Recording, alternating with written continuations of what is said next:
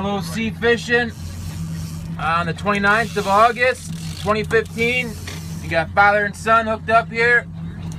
About to net a lake trout on the 600 copper. And we got a nice possible king on the wire. Oh!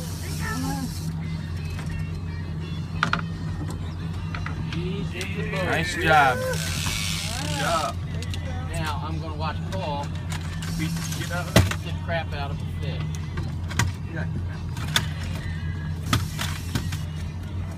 Or maybe the other way around. Lift it up now.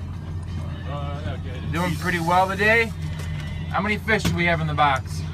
Anybody know? I think six. Plus this one, seven. We've let a few go.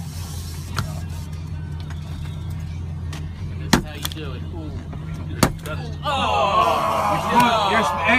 Paul, you're supposed to hit him on the top of the head, not the side. Hey, you Real. went roll over. Look at you. I need windshield wipers. It's RochesterSportFishing.com. Thanks, Paul. You needed some blood on you.